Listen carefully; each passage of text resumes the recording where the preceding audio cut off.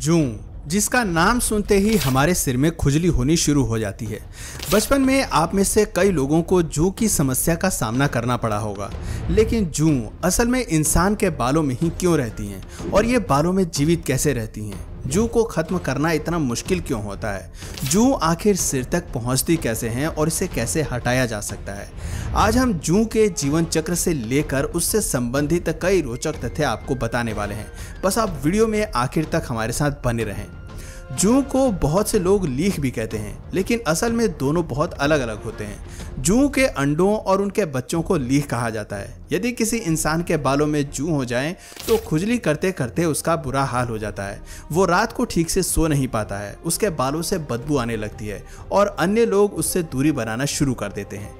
जू असल में दो प्रकार की होती हैं, एक वो जो इंसानों और मैमल्स के बालों में पाई जाती हैं। और दूसरी, पक्षियों व अन्य जीव जंतुओं की बॉडी पर रहती हैं, जू का साइंटिफिक नेम पेडिकुलस ह्यूमेनस है।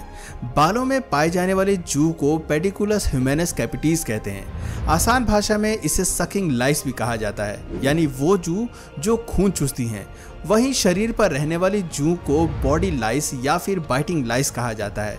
ये जू खून चूसने की बजाय चबाती हैं। जू को परजीवी यानी कि पैरासाइट भी कहा जाता है। अब आप सोच रहे होंगे कि भला कोई जू इंसान के शरीर तक कैसे पहुँच जाती हैं? तो दोस्तों, कई तरीकों से जू बालों तक पहुँच सकती हैं। जू एक सिर से दूसरे सिर में बहुत तेज़ी से ट्रांसफ़र होती हैं। साथ में रहने से, साथ में खाने से, सोने से, समय बिताने से जू सिर तक पहुँच जाती हैं। जू वाले लोगों की चीज़ें, जैसे कि तौलिया, कंघी या कपड़े इस्तेमाल करने से भी जू आपको अपना शिकार बना सकती है। इसके अलावा बालों में गंदगी रहने और साफ़ सफ़ाई पर ध्यान न देने के कारण भी जू की समस्या का सामना करना पड़ जाता है।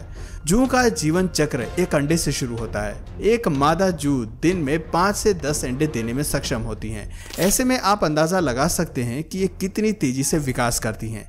जू का अंडा पीला या सफ़ेद रंग का होता है और ये इतना छोटा होता है कि इसे आँखों से देखना काफ़ी मुश्किल होता है। जू के अंडों को निट्स कहा जाता है। करीब एक हफ़्ते के बाद जू के बच्चे अंडों से बाहर निकलना शुरू कर देते हैं। जू के बच्चों को निम्फ भी कहा जाता है और इनका रंग डल येलो होता है। पैदा होते ही जू के बच्चे खून चूसना शुरू कर देते हैं। करीब एक हफ़्ते में बच्चे अपनी युवा अवस्था में पहुँच जाते हैं। ये लंबाई में 0.8 पॉइंट mm से लेकर 2 mm के बीच होते हैं और इनका डायमीटर 0.3 पॉइंट mm का होता है।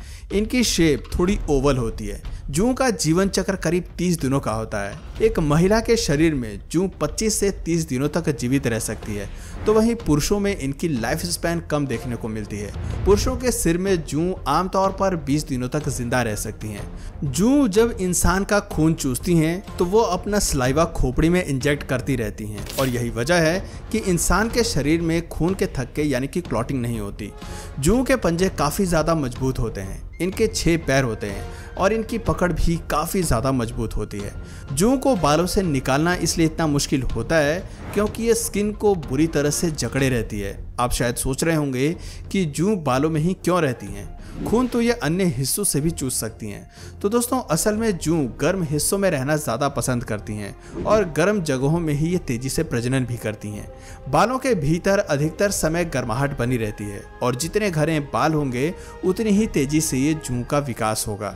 कहा जाता है कि भारत में जू अमेरिका से आई हैं, लेकिन अमेरिका और अफ्रीका में आज जू की समस्या बहुत ही कम हो गई है। आपको जानकर हैरानी होगी कि एक बार अफ्रीका के कई हिस्सों में जू की समस्या बहुत बढ़ गई थी और इससे बचने के लिए लोगों ने अपने सिरों में डीडीटी पाउडर लगाना शुरू कर दिया था, जो एक प्रकार का पेस्टिसाइड होता है। सिर में पाए जाने वाले जू बालों के बाहर केवल एक या दो दिनों तक ही ज़िंदा रह पाती हैं। जू की लगभग 532 प्रजातियों की खोज अब तक की जा चुकी है। एक बात और जानकर आपको हैरानी होगी कि जू आठ घंटों तक अपनी सांस रोक सकती हैं ऐसे में यदि आप चाहें कि कुछ देर तक सिर को पानी में डुबो कर रखें या फिर स्विमिंग पूल में रहने से आपके सिर की जू चली जाएँगी तो यह आपकी गलतफहमी है। जू की समस्या पाँच से पंद्रह साल के बच्चों में सबसे ज़्यादा अधिक देखने को मिलती है। दिन भर स्कूल और अन्य बच्चों के साथ खेलने और मिलने के कारण एक सिर से दूसरे सिर में जू आसानी से पहुँच जाती हैं। इस उम्र में बच्चे, खासतौर पर लड़कियाँ, अपने बालों का भी ठीक से ध्यान नहीं रखना जानती हैं और इसीलिए जू के निशाने पर आसानी से आ जाती हैं। जू को सिर से खत्म करना इतना आसान नहीं है जितना कि लगता है। आप चाहे अपने सिर को पानी में भिगो लें, साबुन से धो लें या फिर कुछ और तरीके अपना लें, ये आसानी से सिर से जाती नहीं है। जू होना कोई बीमारी नहीं है, बल्कि ये एक सामान्य सी प्रक्रिया है। साथ ही जू होने से इंसान के स्वास्थ्य पर भी ज़्यादा असर देखने को नहीं मिलता। लेकिन जू होने के कारण इंसान दिन भर बेचैन रहता है। उसके बालों में खुजली होती रहती है। वो रात को ठीक से सो नहीं पाता है और उसके बालों में से बदबू भी आने लगती है। जिसके सिर में जू होती हैं, कोई भी उसके आसपास रहना या बैठना पसंद नहीं करता है। इसलिए सिर से जू को निकालना बहुत ज़रूरी है। सिर से जू को निकालने के कई हैं। एक तरीका जो आपकी मम्मी ने बचपन में ज़रूर अपनाया होगा, वो है कंघी से बाल बनाना। कंघी के दांत बहुत बारीक होते हैं और उनमें जू और लीक आसानी से फंस जाती हैं। इसे जू निकालने का एक पारंपरिक तरीका भी कहा जा सकता है। कई दिनों तक रोज़ाना कुछ देर कंघी करने से जू की समस्या से काफ़ी हद तक निजात मिल जाती है। सिर से जू को पूरी तरह से निकालने के लिए साफ़ सफ़ाई का विशेष ध्यान रखें। समय समय पर अपने बालों को धोते रहें। बाल धोने के लिए आजकल बाज़ार में कई प्रकार के शैम्पू और केमिकल्स आ गए हैं, जिनकी मदद से काफ़ी जल्दी सिर की जू खत्म की जा सकती है। जू की समस्या से बचने के लिए ऐसे लोगों से दूरी बनाए रखें जिनके सिर में पहले से ही जू मौजूद हैं।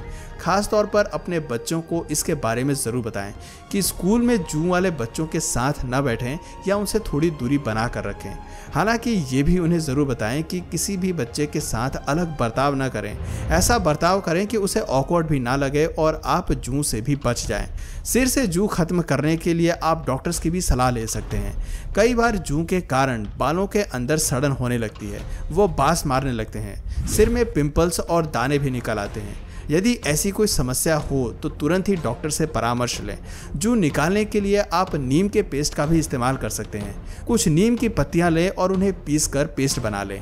अब वो पेस्ट कुछ देर के लिए अपने सिर में लगा कर रखें और थोड़ी देर बाद शैम्पू की मदद से बाल अच्छी तरह से वॉश कर लें।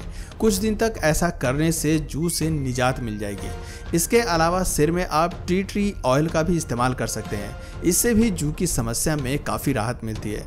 तो दोस्तों, ये थी जू के बारे में पूरी जानकारी।